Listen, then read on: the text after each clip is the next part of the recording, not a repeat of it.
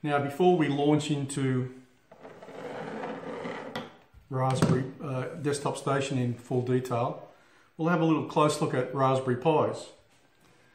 This is the Raspberry Pi Model 1, still have it in its plastic case, and it uses a, an SD card as you can see on the bottom here, SD card for the operating system, and I've got a Wi-Fi uh, dongle plugged in so that it can communicate with um, some sort of a Wi-Fi uh, modem router for communication rather than using the RJ uh, network cable plug. These came out in 2012, 2013 when the Raspberry Pi was first introduced. In 2015, at the end of February 2015, the Raspberry Pi Model 2 became available. And a year later, 2016, the Raspberry Pi 3 model became available. You might notice on my Raspberry Pi 2 and 3, I've actually put a, a uh, heatsink stuck onto the top.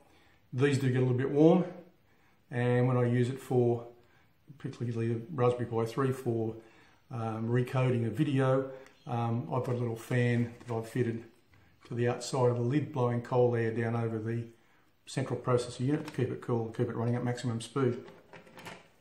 To give you some idea of performance, if this had a, ra a rating of 1, then this particular unit is six times, the Raspberry Pi 2 is six times more powerful than Raspberry Pi 1. And the Raspberry Pi 3 is 10 times more powerful than the Raspberry Pi 1. Now the interesting thing also about these particular systems, there's been a heck of a lot of development on the Raspbian operating system. When this first came out, it used Raspbian Wheezy as its, its main operating system. Um, and later on down the track, uh, they introduced Raspbian Jessie to go onto the Raspberry Pi 2. That happened around about six months after this was released. And they've continued on with Raspbian Jessie as the operating system of choice with a lot of modifications and now has a nice graphical um, skin over the top called Pixel. And uh, that's, that gives you a very, very good quality screen. There's also been a lot of work on the software and uh, there's been some changes. The, the, main one is the changeover to using on, on the latest systems Google Chromium as the preferred browser. Now, these particular things, when they came out, this was the one that Yasan was very interested in from Desktop Station because of the huge increase in performance over the Raspberry Pi 1.